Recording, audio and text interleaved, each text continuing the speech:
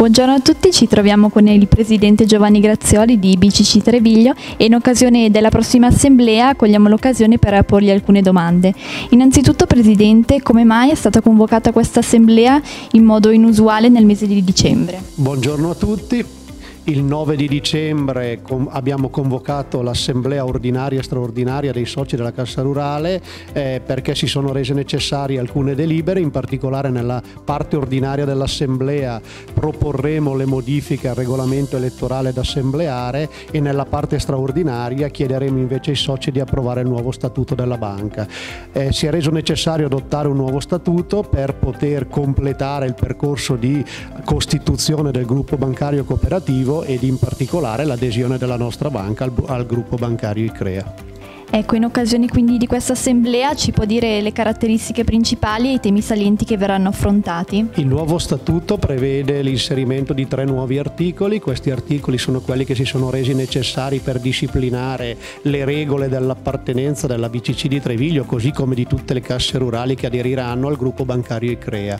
A prescindere dai tecnicismi è chiaro che eh, si tratta di disciplinare l'attività di controllo e coordinamento del gruppo bancario nei confronti della cassa rurale rurale e si tratta quindi di definire le norme che regoleranno la nuova attività e la nuova eh, regolamentazione a cui saremo soggetti in relazione alla legge di riforma del credito cooperativo. Ecco, guardando quindi alle conseguenze, cosa pensa che cambierà per la nostra banca?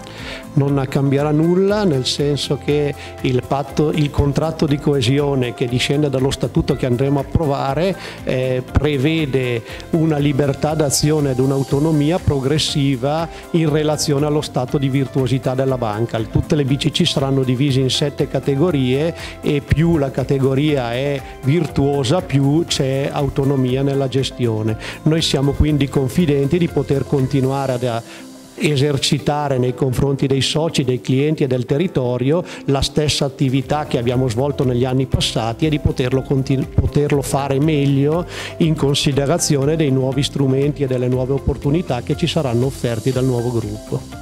Un'ultima domanda, Presidente. L'ultima volta che abbiamo parlato con lei risale allo scorso maggio. Ci può dire cosa è cambiato in questi mesi?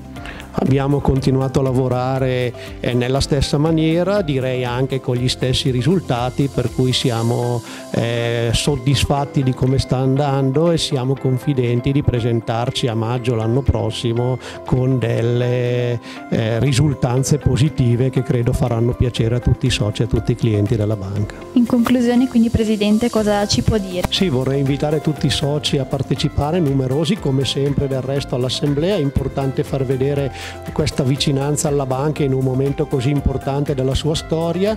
Per tutte le notizie e informazioni riguardo l'Assemblea stessa, in questi giorni saranno consegnate le lettere di eh, avviso di convocazione nelle quali troverete tutte le indicazioni su come e quando partecipare. Eh, sarà un piacere anche salutare i soci visto l'avvicinarsi delle festività natalizie per fare loro gli auguri di buone feste da parte della Cassa Rurale di Treviglio.